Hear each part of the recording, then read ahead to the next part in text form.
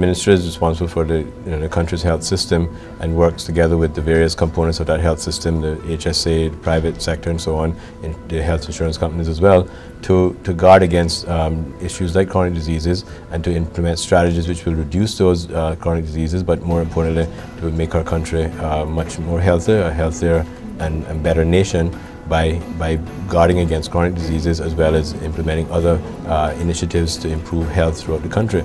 So chronic diseases being, as I said, one of the leading causes of death is obviously high on the priority for the Ministry of Health in terms of uh, finding solutions, finding um, ways to cure, not, not to cure, but to prevent chronic diseases. Well, I'm hoping that um, if we know where the problems are, we can direct whatever um, resources we have to prevent them. Also, we can, um, uh, we can identify persons who are at risk for getting these illnesses and encourage them to do something about it. The data collection for the Health Risk Factor Survey started on May 14th this year. 50 interviewers going out into the fields. They're working in teams of two. We have selected over 2,100 households randomly selected to participate in this survey. The two data collectors would come to your household and they would ask for information on the persons in that household that are within the age of 25 to 64. The interviewer will not select that person. That person will be randomly selected to participate in the survey. The survey includes three steps. The two data collectors that will come to your house would only do steps one and two. Step one is basic information about your lifestyle. That will be covered in step one. Step two then includes some basic measurements. You would be asked to step on a scale so we can get your weight. We will also measure your height and your waist circumference and take your blood pressure four measures. At the end of the measurement, the results will be given to you. If you are one of those that have been selected to participate in step three, that involves taking a little sample of blood from your fingertip where, um, but that will not be done at your household. You will be required to go to the clinic to do that, the one in your respective area.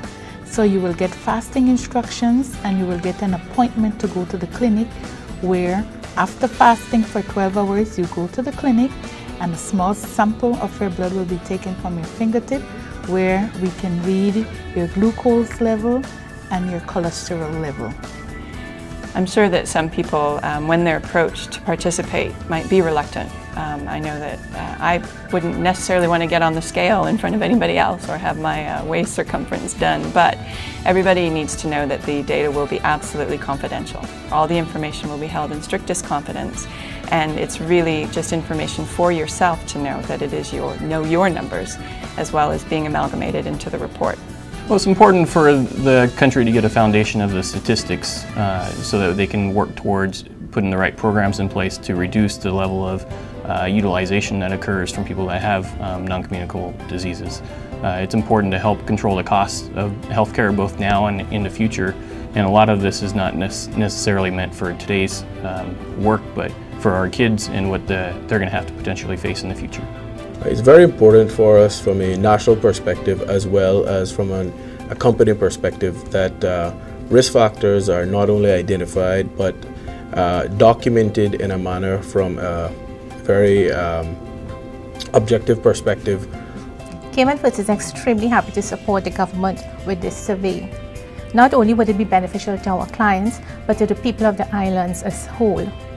As an insurance company, the data derived from this survey will be very important to us in terms of underwriting, our wellness programs, and cost containment measures, which would definitely assist in working towards reducing premiums. So this is an opportunity for people to, to get involved with helping to improve the nation's healthcare and our healthcare policies by helping us get that baseline data. We need to know what it is that we need to target in order to, to make sure that people have a healthier and a happier life and improve their health and well-being.